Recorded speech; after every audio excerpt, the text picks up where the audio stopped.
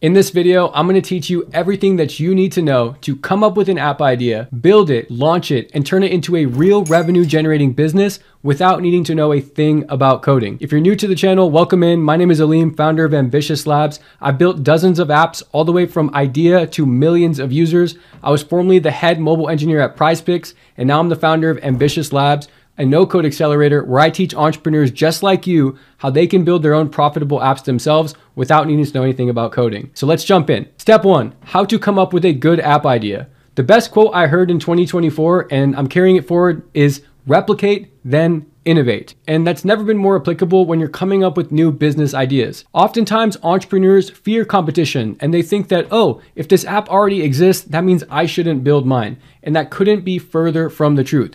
Competition is another word for validation. Competition is a very healthy thing in business, and oftentimes you will see that businesses intentionally will compete with another because they know they are stronger and they can outperform in various areas of the business and potentially differentiate themselves. For example, you might see two different gas stations on the same intersection. You might see something like a Chevron, and if you're in the South, you might see a QuikTrip. Quick Trips love to open up where existing gas stations are because QuikTrip knows they can win on customer service, good food, a selection of great drinks, Slurpees, coffee, and more. So whenever they see a busy intersection with another gas station and an open land, they don't fear that opportunity. They think of it as validation that there is demand for gas and petrol at that area, and they know that they can win on their good customer service. So if I'm you, I'm looking for opportunities on the App Store, on Reddit, on on apps that might even be just web only apps. You can go check producthunt.com to find other apps that already exist.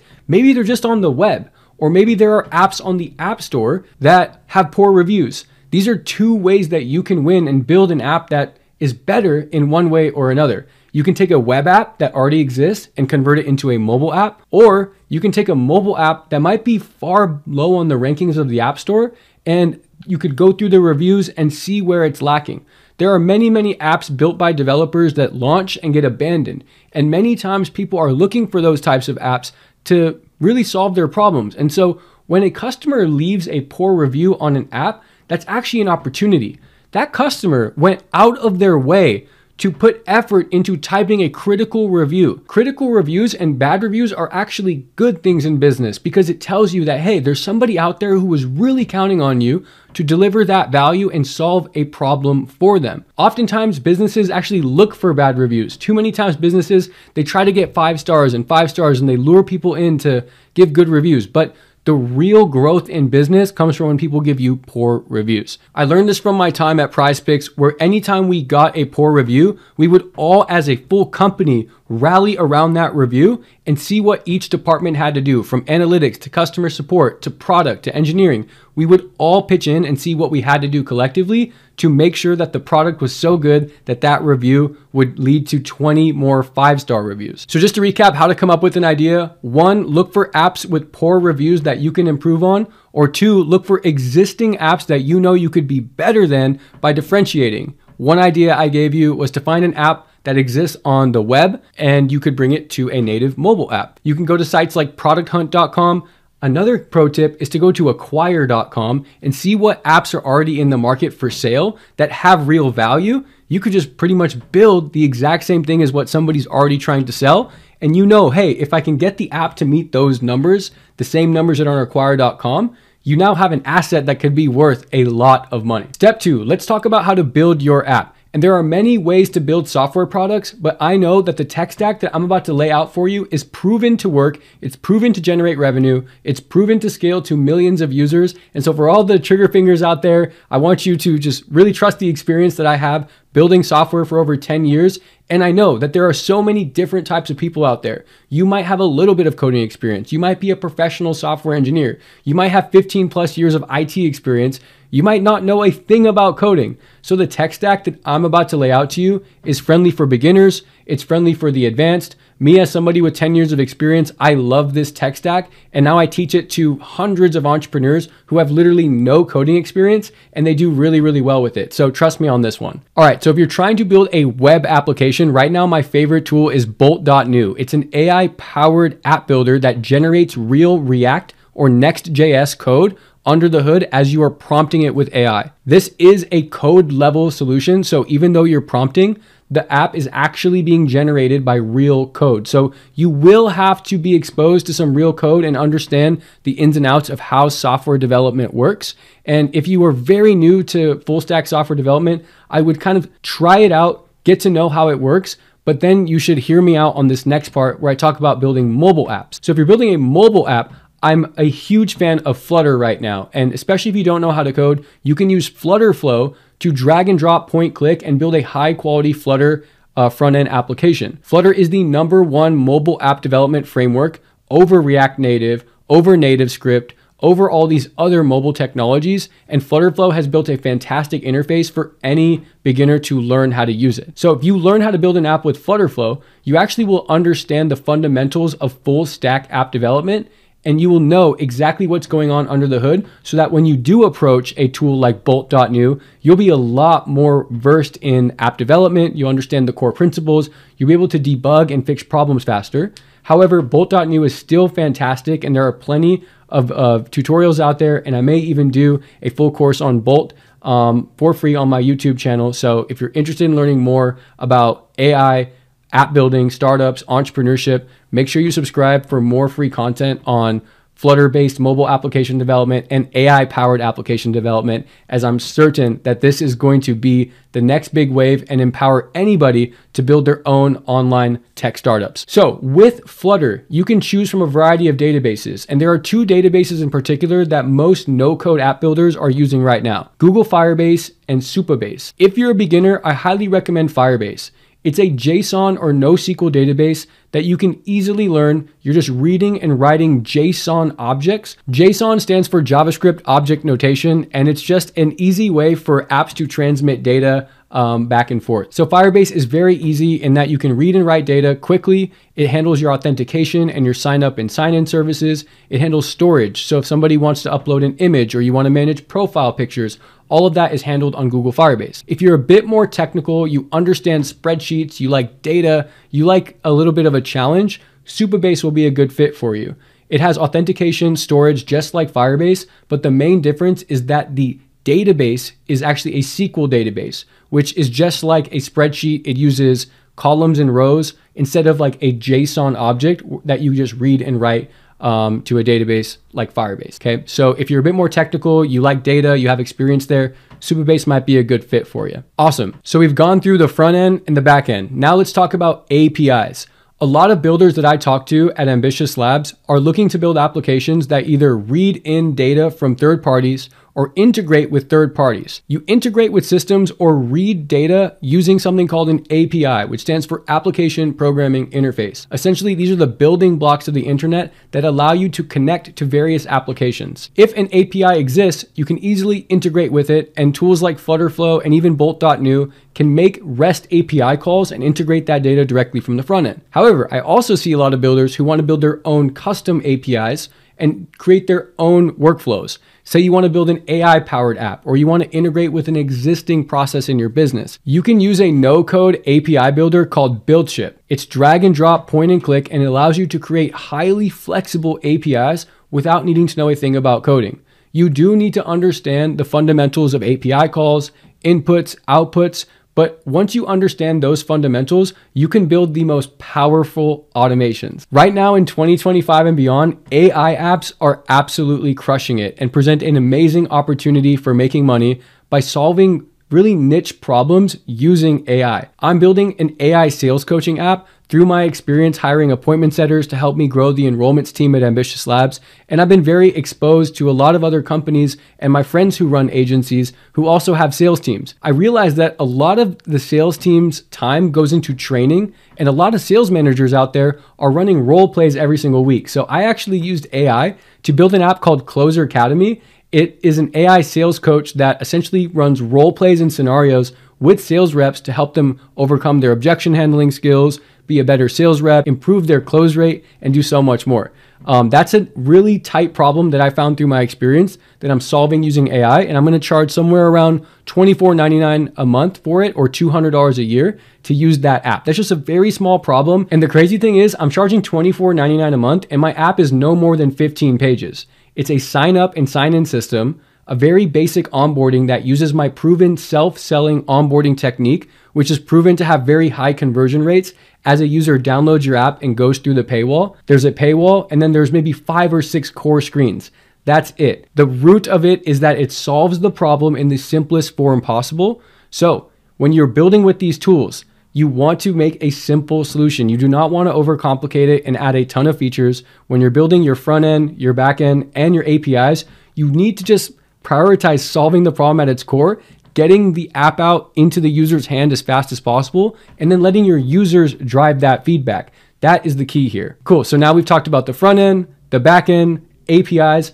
For payments, payments we can use Stripe if you're building a web app and if you're purchasing uh, physical goods through the app or you can use RevenueCat if you're building a mobile app. And RevenueCat is specifically for mobile apps that allow you to just double tap the lock button on your phone and a user can purchase those in app purchases. The main difference between Stripe and RevenueCat is based on Apple and Google's regulations. If you are purchasing digital goods such as access to an app, you need to use RevenueCat and Apple and Google require that you go through their in-app purchase protocol. However, if you're building like a marketplace app where you're purchasing things offline and you're delivering goods and services offline, then you can use Stripe. So physical goods, Stripe, digital goods, RevenueCat if you're building a mobile app. If you're building just a web app, then Stripe is just fine. All right, let's go into the final part of this video and arguably the most important and potentially even the reason you're here. How to market your app and turn it into a real revenue generating business. We've been working with dozens of builders every single month at Ambitious Labs launching their apps and they always have the same problem.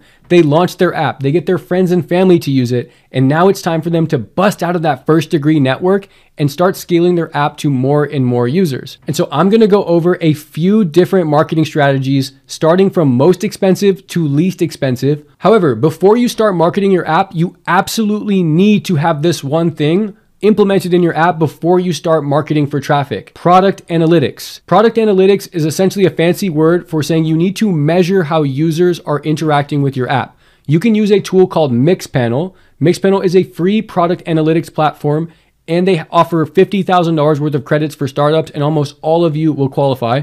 I'll make sure to leave a link in the description for Mixpanel. You need to have Mixpanel set up and installed on your app and most importantly, you need to have what's called an onboarding funnel report. When a user downloads your app, they are essentially going through a funnel to go from a download to a paying customer. And if you follow my self selling onboarding technique that I teach everybody inside of Dreams into Apps, you'll know what I mean. Essentially, when a user downloads, they will sign up and then go through an onboarding flow to personalize their experience.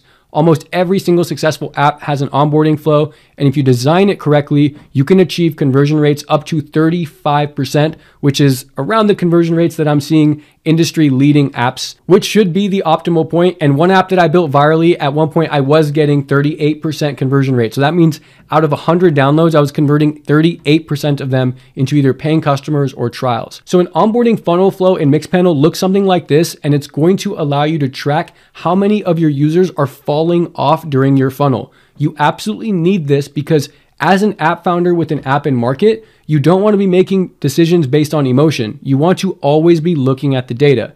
And you can't make effective decisions if you don't have a report that's telling you how changes in your app are affecting your app's performance over time. Your goal after you launch is to make your report go from this to something like this. Notice how many more users are completing the funnel from version A to version B. That is your life as a startup founder. It will take time. So once you have this funnel report set up, we can measure how many users are completing it and we can start marketing our app and start looking for traffic in various sources. So now let's jump into how to get traffic for your app. All right, now let's talk about various advertising strategies for you to get traffic into your app. Number one, paid ads. Paid ads are expensive, but they're interesting because it's all about a math equation.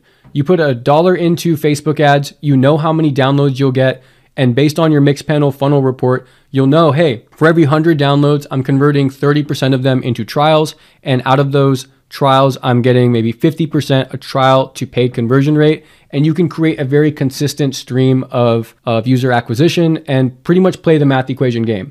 The downside of paid ads is that you have to have a lot of money to play with it. I'd recommend not starting with paid ads unless you have at least $10,000 that you can confidently spend behind pushing traffic to your app, and you have the effort and the time to be consistently optimizing that funnel and iterating on it. And disclaimer, you need to be ready to lose that $10,000 because it could be that you didn't design your onboarding flow the right way. You didn't incorporate the self-selling onboarding flow. You didn't, you know, ask the right questions or you're not marketing the a consistent message from the top of the funnel ad to what's going on in the onboarding flow. There's so many things that could go wrong if you do it on your own and you try to just run paid ads um, it can go really, really bad. However, if you do it the right way, it can be very scalable because it's a money in, money out equation. All right, number two, organic short form. This is what most successful builders are doing right now, and I highly recommend that you do this too. Organic short form means making short form TikTok and Instagram reel videos, and you take shots at going viral. Like literally, you spend all day every day, or even a couple hours a day every day, and you just try to make one viral video. You look for a video that's already gone viral and just copy it, or get your own spin on things. The best way is to copy it though, because TikTok loves when other creators are jumping on trends because TikTok is optimized to create trends. So it's actually a good thing if you're copying uh, an existing video that works because TikTok loves to be able to push one pattern because they know people like to watch it. So if I'm you and I have an app launched, I'm gonna go on TikTok and I'm gonna find videos that are already going viral and simply just change it to be my own style, but copy the architecture of the video. Have a really strong hook, have an interesting body, and try things to keep people watching the video again and again because TikTok and Instagram Reels, they optimize for two things. Uh, view through on the hook. So is your hook catching the user's attention for at least five seconds? And then how many times is the user watching the video over and over again? If you do those two things right, you're absolutely going to go viral. Once I launch my App Closer Academy, this is what I'm to do. Like I'm not spending any money on paid ads. I'm just to be making one or two viral videos every week, every you know, maybe every day if I have time. And I'm just to try to go viral and push a bunch of traffic to it. This is an absolute cheat code and content is an asset because content will always produce you traffic. And nowadays with Instagram Reels and TikTok, it's just so easy to like get people to watch your videos because the algorithm is in your favor. You could also be making long form YouTube content. This is especially useful if you're building a B2B based app because in B2B, you don't need thousands or millions of customers. You just need a few hundred customers who really see the value in the solution that you're providing them. So making YouTube content about your niche can actually produce you a lot of high value lifetime customers. So if you like making videos, you can definitely try out YouTube. You can start small. All you need is a laptop with a webcam and uh, a software like Loom, and you can start making videos about how you're solving a specific problem. So Short form and long form content is the best way to get traffic, and you don't have to pay anything for it. It's just a matter of you putting in the time. But it's also not great for people maybe who don't want to be behind the camera, and I get that. So that leads me to number three, which is cold outreach. You can use cold outreach tools like Drippi.ai, Expandi.io to automate cold outreach. There's also tools like ListKit and other cold email outreach tools where you can just send mass messages to people and play the mathematics game of, hey, I sent a thousand messages. I got a 10% reply rate. So 100 people replied. And then out of those 100 people, I got 20% of them to either download my app or book a demo. So I turned a thousand email cold outreach campaign into 20 potential customers. And that's a game to play too. It's free. It does take time and there's a lot of experimentation, but if you're not somebody who wants to get behind the camera, cold outreach is fantastic. And I've actually started a lot of companies and generated a lot of leads through cold outreach. I'm actually working on a university partnership with my no code accelerator, Dreams into Apps, and a major university. And I did that through cold outreach. I literally automated a thousand emails to university directors and I pitched them my offer and I got a handful of demos scheduled and one of them is scheduled to convert. So Cold outreach definitely works, and those are my favorite three ways for you to market your app. We teach all of these strategies inside of Dreams into Apps, our no code accelerator, where we're guiding hundreds of entrepreneurs just like you who have no idea how to code from idea to successful and profitable app. If you're interested in learning more about Dreams into Apps, click the link in the description to shoot over an application, and a member of my team will reach out immediately. My name's Alim. Thanks for watching this video.